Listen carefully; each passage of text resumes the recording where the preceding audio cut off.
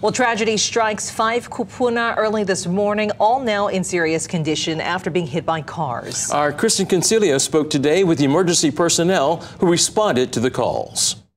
To have two incidents with multiple patients in the same morning is really unusual and, and tragic. Three kupuna, an 85 year old and two 78 year old women, were taken to the hospital in serious condition after being struck by a car on Ala Moana Boulevard. That was just before 6:30 Wednesday morning. The patients were treated with advanced life support.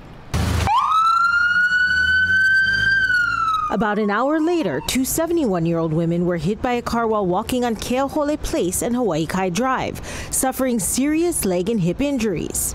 When I think of the extremes of ages, either the very young or the very elderly, it's just that much more tragic. And um, in older folks, a lot of times they're on blood thinners, um, their bones may be more brittle, so the injuries can actually be more severe. James Ireland, the head of the Honolulu Emergency Services Department, is urging both drivers and pedestrians to be careful. When a human being and a car meet, the human, the person is never going to do well in that engagement. He says EMS sees pedestrian accidents just about every day because people are distracted while driving on their phones and not paying attention to the road. He warns pedestrians must also be vigilant, walking in crosswalks, paying attention to cars, and wearing reflective clothing when it's dark. These are hard calls to go on, um, broken bodies.